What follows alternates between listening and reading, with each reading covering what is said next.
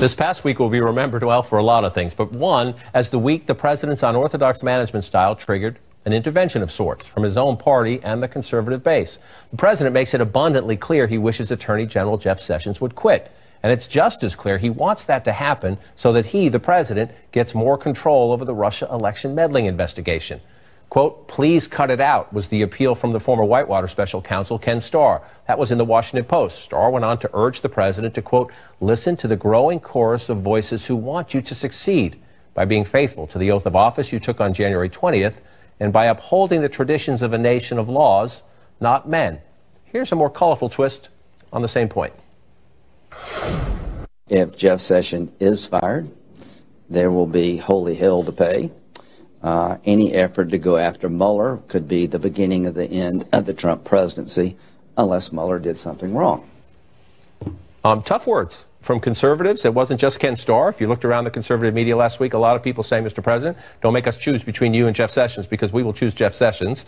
Uh, in Congress, Lindsey Graham, just one of many voices, he just says it colorfully, saying, Mr. President, don't do it. Uh, don't force him out. We back Jeff Sessions, and if you do force him out, you're not going to get a replacement.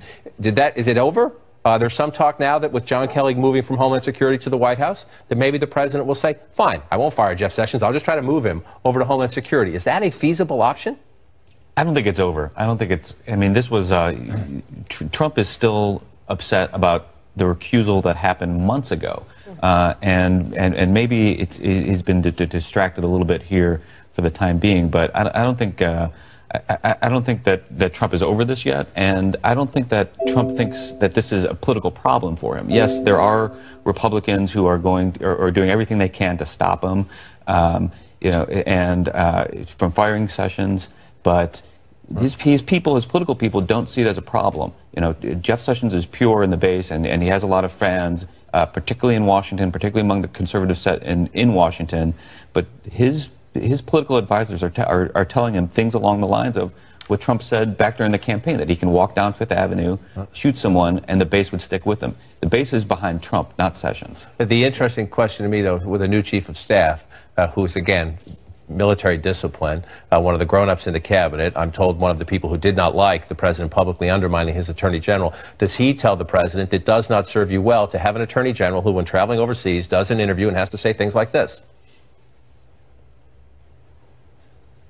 Kind of hurtful, but the President of the United States is a strong leader. I serve at the pleasure of the President. Yes. Uh, if he's, he wants to make a change, he can certainly do so, and I would be glad to uh, yield in that circumstance, no doubt about it be glad to yield in that circumstance. Jeff Sessions called the president a strong leader there. A number of Republicans openly and conservative commentators openly used the term weak about the president. They were trying to fire his own words back at him this week. What, what are we? Is, was this? I, I, said an intervention of sorts. Uh, was this a week we'll remember when the conservatives just said enough, Mr. President, or was it just them reacting and this will this too shall pass? Uh, I'm, I'm a little skeptical that the conservatives are just going to abandon the president, mostly because I agree that the sort of conservative set in Washington is is more aligned with Jeff Sessions than they are with Donald Trump, particularly on this issue.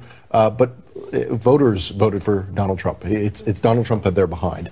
Um, and if this is seen, I think it's seen by the president this way, and if it is seen by his voters as the Mueller investigation is the bigger political problem than anything he could be doing, getting rid of Jeff Sessions or trying, uh, you know, to get around and end this investigation, um, they're going to stick with him. And and uh, and I think that is probably the right view uh, politically, if not sort of constitutionally. So is the turmoil over? Uh, you have Jeff Sessions who's sort of twisting in the wind. Uh, good laughter. I like that. I, li- I like that. Uh, but if you look, if you just look at the turnover now, the FBI director James Comey was fired. Uh, again, one of the reasons Jeff Sessions we pay so much attention to the president talking about Jeff Sessions is because he fired James Comey, as the president himself said, because he didn't like the way, at least in part, he was handling the Russia investigation. Those other people you see on the screen there all worked in the White House. Uh, the communications director, the national security advisor, the deputy national security advisor, the, now the chief of staff the press secretary, Katie Walsh. Now, a number of them, uh, Reince Priebus, Sean Spicer, uh, Katie, they were from the RNC, the establishment wing of the party, and Mike Dubke as well. So a lot of this is Trump purging the Republican establishment over six months, but that's a lot of turnover. That's a lot of turnover. When I say, you, you, you laughed when I said, are we done? Because the president is the president. He's not going to change the way he has run things, and he is he is a chaos president.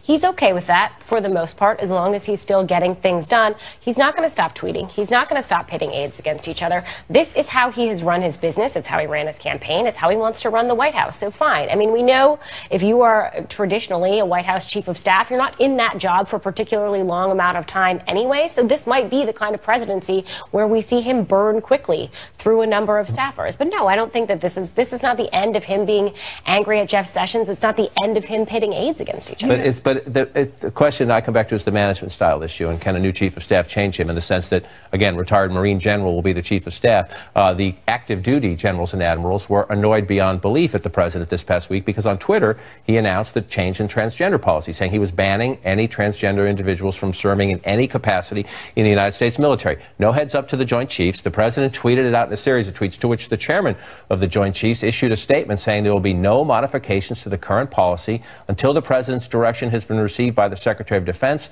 and the Secretary has issued implementation guidance. In the meantime, we will continue to treat all of our personnel with respect. That's essentially the top general in the United States saying, uh, I was just blindsided by the president. Everybody stand put until we figure this out. Absolutely. I, I think fundamentally, Kelly can uh, maybe not change him. Kelly can help to manage him or to constrain him, to direct him, to advise him. But fundamentally, one thing that uh, it seems that the president is struggling with is whether to believe that these various uh, groups helped him to become the president the establishment wing of the Republican Party, uh, the wing led by Steve Bannon, and the Wall Street wing. Whether they are the reason he's president or whether he is the reason he is president. And right now, he instinctively seems to be leaning to the idea that he is the reason he is president. He's not thought really twice about jettisoning the establishment wing. There may be more to come. And the question is uh, for General Kelly, can he use not just his experience, but his ties to essentially other generals, to, to Mattis, uh, to McMaster, to Tillerson, to help constrain the president and retool his thinking. Will the, will the, mind, the default always be which group made me president? How about I am president? How can I get things done? Right. A, a, a, a quick note uh, Joe, Joe, Dunford, very close uh, with John Kelly. In fact, is right. the one who informed John Kelly that his son had died in Afghanistan. So that's a relationship. Uh, two men who are very close. I think there could be some changes, at least in that narrow area. We'll keep an eye on that one. Up next.